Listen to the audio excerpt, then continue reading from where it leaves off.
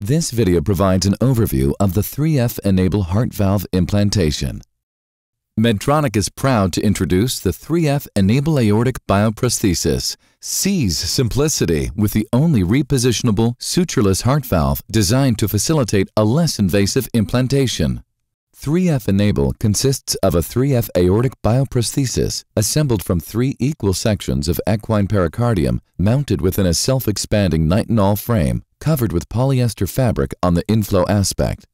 Nitinol, a metal alloy of nickel and titanium, has unique memory properties that contribute to the fixation of the device.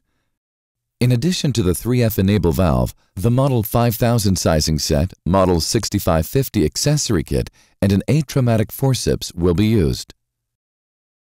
Do not use the 3F Enable valve in patients presenting with active endocarditis, congenital bicuspid anatomy, or annuli with irregular geometry.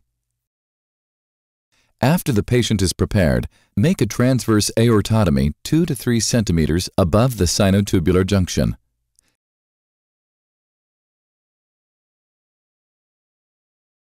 Excise the diseased leaflets and fully debride the annulus.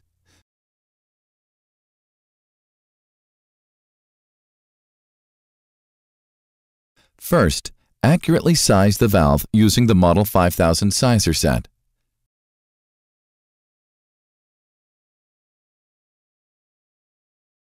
After rinsing the valve in three bowls of saline for 30 seconds each, place the 3F Enable valve in a fourth bowl of chilled saline prior to implantation. When the valve is ready for implantation, remove it from the chilled saline.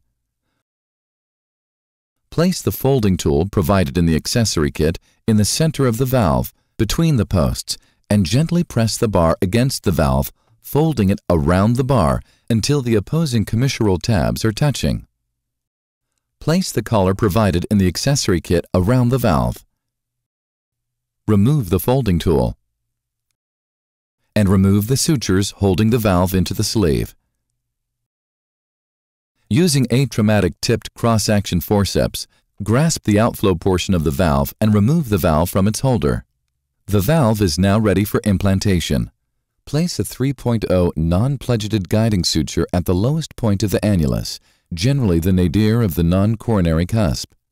Suture the other end through the cuff material. Guide the valve down the suture into the annulus. Align the valve posts with the patient commissures. The 3F enable valve is placed where the nadirs of the remnant tissue rest between the upper and lower flanges of the valve. When the valve is properly situated, release the forceps.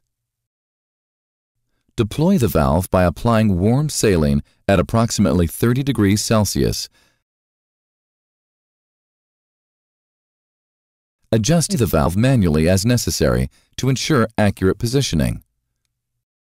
Test each of the leaflets for paravalvular leakage by ensuring no blood-tinged saline passes through any gaps into the ventricle.